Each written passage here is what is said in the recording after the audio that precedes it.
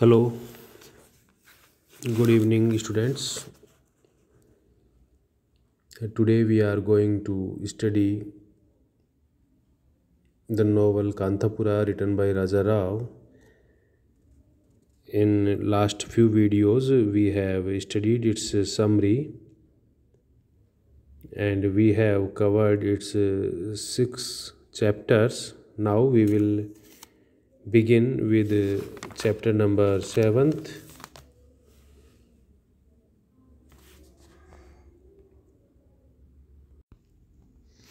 chapter number 7th and its title is the skeffington coffee estate. The scene now shifts to the skeffington coffee estate. It was a huge coffee plantation which stretched all over the hills and valleys round Kanthapura. It is difficult to give an idea of its vastness. Some said that it covered an area of more than 10,000 acres.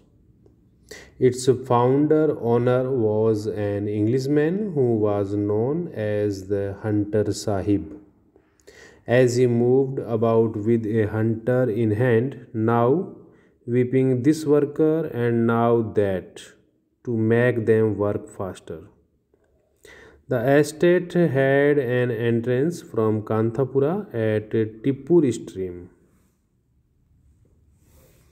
By the time of the present story, he was dead and his uh, his place had been taken by his young nephew. The coolies who worked on the estate were recruited from the plains below the ghats stretched up to the river Godavari. A foreman or a mestri, as he was called, was sent from time to time to recruit coolies according to need. They were enticed to leave their hearth and home by false, false promises. Entice, entice means लालायित करना to leave their hearth. Hearth means chulha means उन्हें अपना घर छोड़ने के लिए लालायित किया जाता था चूल्हा और घर by false promises jhoote vaidon se. They were given 1 rupees each as advance and were promised a 4 anna bit for a man and 2 anna bit for a woman as daily wages. They were also told that they would get plenty of white rice and that they would merely be recruited to pick coffee leaves they would not be put to any hard labor. The foreman would speak to them politely. He would smile on them. The simple poverty stricken people were taken in by these false promises. They come in large number with their belongings to work on the estate. Their march to Skeffington Coffee Estate has been described by Raja Rao at length in his usual graphic and picturesque style. Armies of coolies marched past the Kenchamma temple, half-naked, starving, spitting, weeping, vomiting, coughing, swearing, squeaking, shouting, mourning coolies. Coolies after coolies passed by the Kenchamma temple, the Mastri before them, while the children clung to their mother's breasts, the old men to their sons' arms, and bundles hung over shoulders and arm and shoulders and head. And they marched on past the Kenchamma temple and up to Skeffington coffee estate. They first travel some distance by train and then march down a difficult path with their families to the estate. Coolies from below the ghats, coolies, young men, old men, old women, children, baskets, bundles, pots, coolies passed on. And winding through the twist of the estate path by the buxom buxom means thick. People bend over the devil's raven breeze. By the parvati well corner they marched up the mastery before them. It is like the march of an army and the impression created is that of vast multitudes on the move. Raja Rao's habitual use of an array of rhyming words, starving, spitting, weeping, vomiting, etc., is to be noted. Thus, the coolies were brought to the coffee plantation. Some, sorry, once they were there the manners of the foreman changed, and he grew harsh and threatening.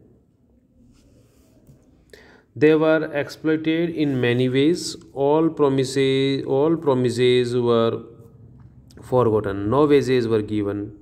Indeed, the white owner did not even know that they had promised four annas bit for a man and two anna bit for a woman.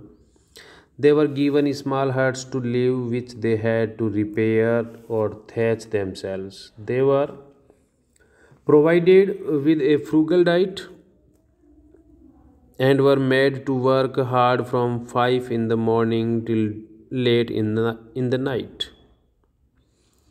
If anybody took rest or was slow, he was severely whipped by the master who was ever on the watch no wages were paid, and the old hands knew that who came to estate once never went out of it again. He must work, suffer, and die there. Digging and cutting wood, killing insects and rats were part of their labor. The workers were also exploited sexually. The White Sahib was lecherous and corrupt. He would have this or that woman who tickled his fancy. If a woman refused him, the husband's or father's wages were cut or he was given a whipping. Once a Brahmin workman refused to send his daughter, the Sahib flew into such a rage that he shot the Brahmin father dead with his pistol.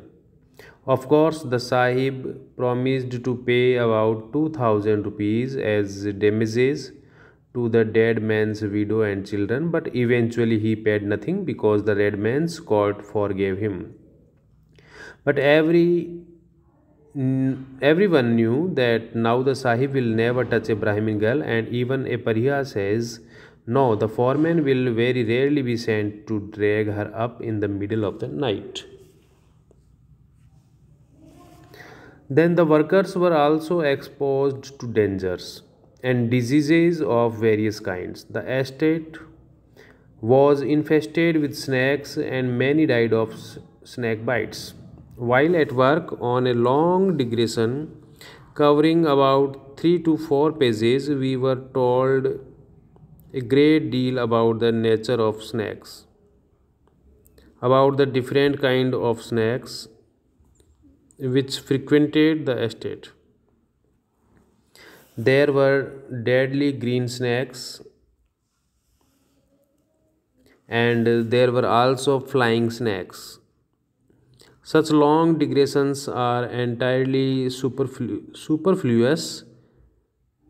They in no way further the action and create the impression of formlessness. Indeed, the, this criticism has often been leveled against this novel. Beside this, there were heavy rains, and the workers would have to work in rains, rains drenched to their skin. With the rains, there would come malaria and uh, takes a heavy toll of life. Men, women, and children died in large numbers. No doubt, the Sahib would distribute pills among the coolies, but they were superstitious and many would not take the pills. They also suffered from cough, dysentery, and vomiting. Many would have liked to go back to their homes, but they had no money, and anybody who dared ask for his wages was mercilessly beaten. In short, the coolies were a miserable lot and had to suffer terrible hardship. We have already noted that Bade Khan was staying at the estate. Bade Khan was a policeman. And his arrival had further strengthened and encouraged the Sahib. Now, an officer of the law was also with him. The majority of the coolies were parihas, but there were also a few Brahmins who could not be suppressed so easily.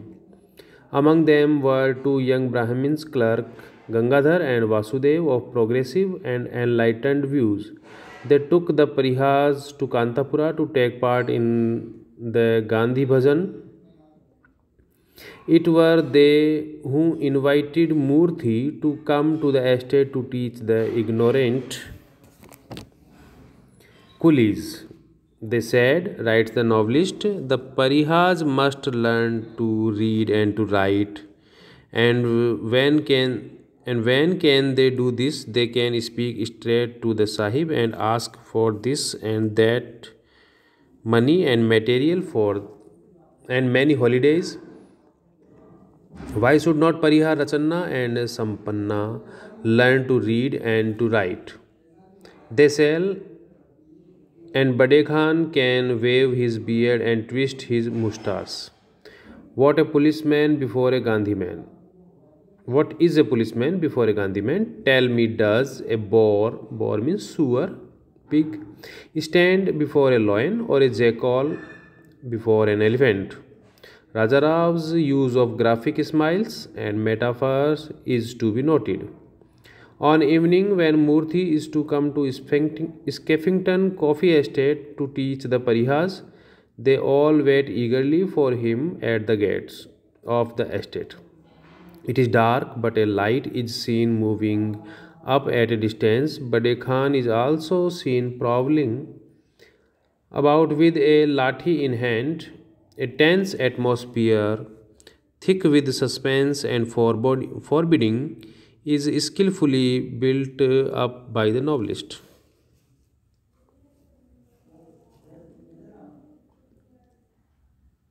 By noticing the movement of the light and movements and whispering of Bade Khan. It is done so skillfully that we see the entire incident with our mind's eye. At last, Murthy does come up, but he is stopped at the gates of uh, the estate by Bade Khan. He tells Murthy, You cannot enter the gates of estate. I am a free man, Police Sahib, answered Murthy.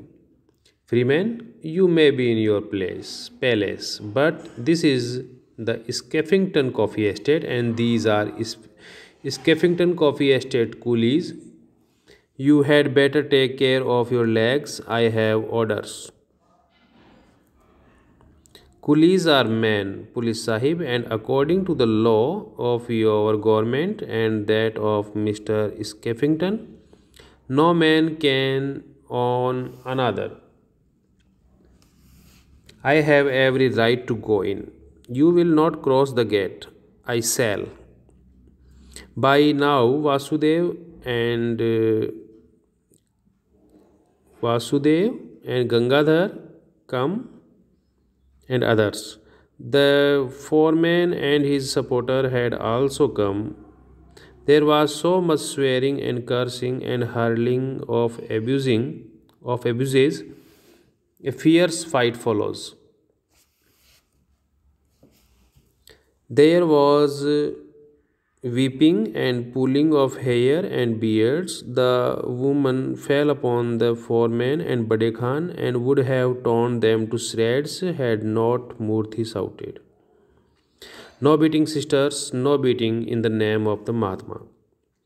Whereupon the foreman got up and started weeping the coolies up by the estate path. while Vasudev led Murthy down to Kanthapura for the night. The following morning, the foreman threw Rachanna and his wife with their two orphaned grandchildren out of the hut at Skeffington Estate. There were they, there were given shelter by Patel Range Gowda and uh, that was how they came to live in Kanthapura. It was after the after this that Murthy began his Don't Touch the Government campaign. This was the summary of the chapter number 7th. In next video we will meet with the chapter number 8. Till then goodbye. Thank you.